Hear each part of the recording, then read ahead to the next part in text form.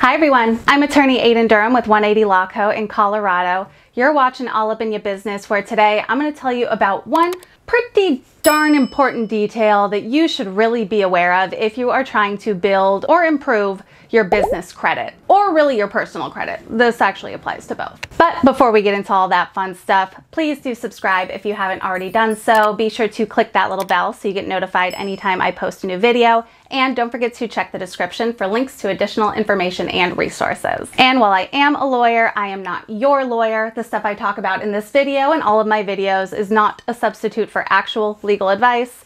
If you need help with any legal matter, you should consult with a lawyer who's licensed in your state. So this video is actually going to be a little bit of a story time. In order for me to get to the point, we've got to back up and, and do a little storytelling first. Now I know there are some of you who are like, I don't want to hear the story, just get to the get to the one thing that I need to know. So I'll tell you right now, the one thing you need to know if you're trying to build business credit is that it's not going to do shit for your business credit if it's not being reported to the credit bureaus. That's the one thing you need to know. So now if you now want to know why, how did I come to this? Why am I talking about this? Let's take a little trip back in time, shall we? To about one week ago. Back about one week ago, this is the Wayne's World thing. Some of you might, I'm sure some of you are old enough to get this reference. Doodle, doodle, doodle.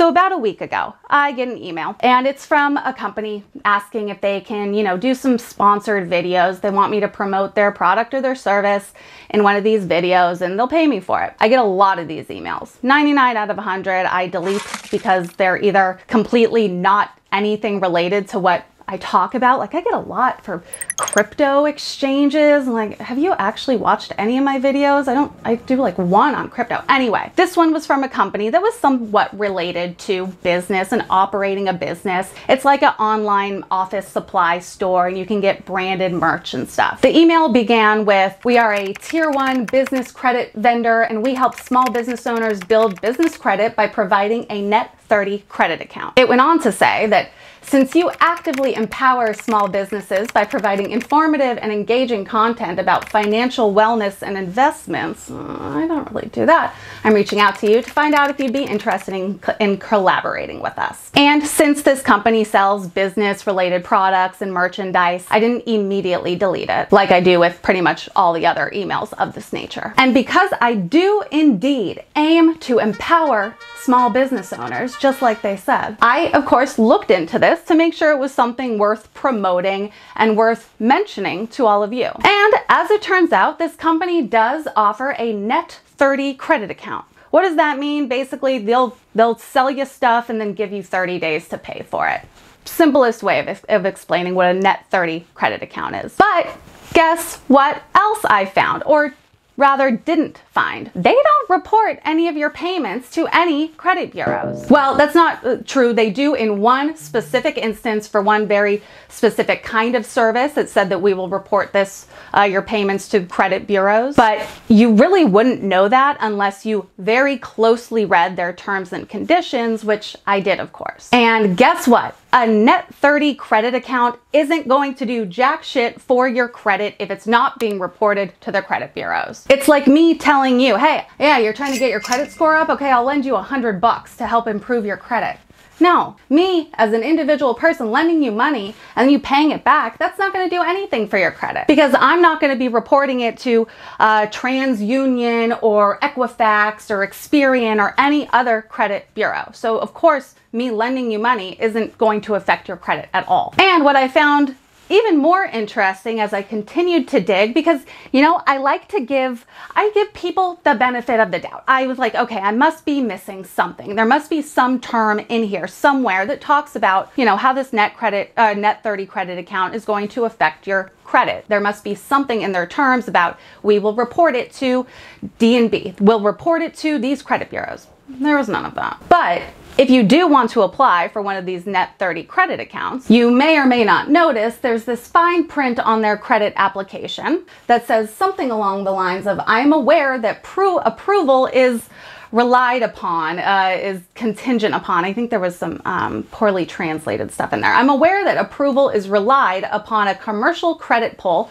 from either Equifax, D&B, Experian, or CreditSafe. So they wanted me to promote their company to you all under the guise that it will help you start and build business credit. But actually, they require that you already have a favorable credit rating or credit score before they'll even extend that net 30 credit account. And this their website, they have net 30 credit account plastered all over multiple spots on the homepage. Net 30 credit account. We offer net 30 credit account. Every page you look at, there's something touting. We offer this net 30 credit account. And I assume this is in an effort to draw in folks who are looking to start or build their credit for their business. Now, I'm not going to name this company. I'm not going to put them on blast because I don't think they are blatantly trying to mislead or lie or or fraud people or anything like that. Again, their website says net 30 credit account all over it, but there's really nothing it says nothing about building credit or improving business credit. It's net 30 credit account, net 30 credit account, but they don't make any claims directly about this will affect your credit at all. There aren't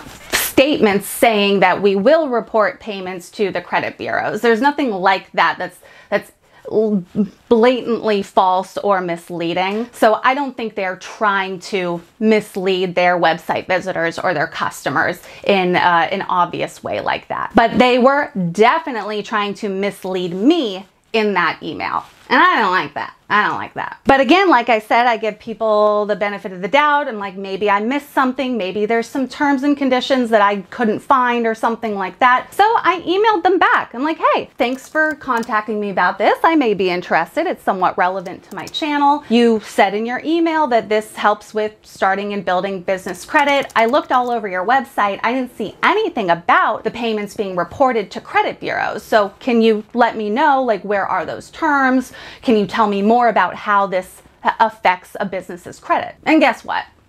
I haven't heard anything back. No response. No response at all. So, what's the key takeaway from this? The number one thing, the number one key takeaway, and the one thing that you need to be aware of if you care at all about your business's credit or your personal credit is that nothing's going to affect your credit if things aren't being reported to the credit bureaus. The only way to build or improve business credit is to have credit that is actually reported to Dun and Bradstreet, D&B, Equifax, Experian, any of these credit bureaus. That's the only way. The number two takeaway here, don't believe everything that people say. Read, read terms and conditions, read the fine print, read contracts, ask questions. Don't just take everything at, at, people's word. Dig into it. Ask questions. Make sure what they're saying is true. And a little bonus number three key takeaway here, particularly if you are an influencer or someone who works with brands and does sponsorships and things like that. And particularly if you're an influencer who cares about their reputation and integrity, make sure you thoroughly research the brand and the products or services that they want you to promote. I would have felt really dumb if I had come up here, told you all, hey, I've got this new brand partnership, and guess what? They're gonna help you build business credit. And then turns out, uh, no, actually, this does nothing for your credit. I'd have felt really dumb, and I wouldn't have blamed any of you if that caused you to not trust me in the end or trust the other things that I talk about in my videos. So that's it. And a theme of story time. And in case you missed it, the number one thing you need to be aware of is that if you want to build business credit, you need credit that's going to be reported to credit bureaus. If you learned a thing or two, go ahead and give me a thumbs up. Don't forget to subscribe if you haven't already. Click that little bell so you get notified anytime I post a new video. And of course, check the description for links to additional information and resources. If you want to learn more about business credit and other things that you can do to improve or start working on building up your business credit, I've got another video that goes into a lot more detail about how to do so. You can check it out right here. I'll meet you over there. Thank you all so much for watching. I'm Aiden Durham, and I'll see you next time.